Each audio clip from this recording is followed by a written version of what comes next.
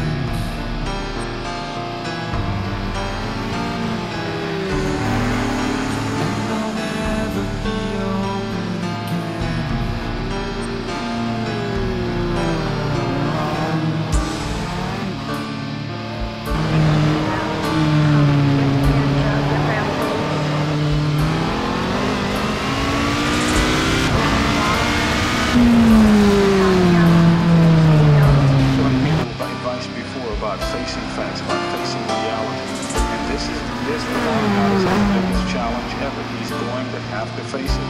You're going to have to try. He's going to have to try and get some help here.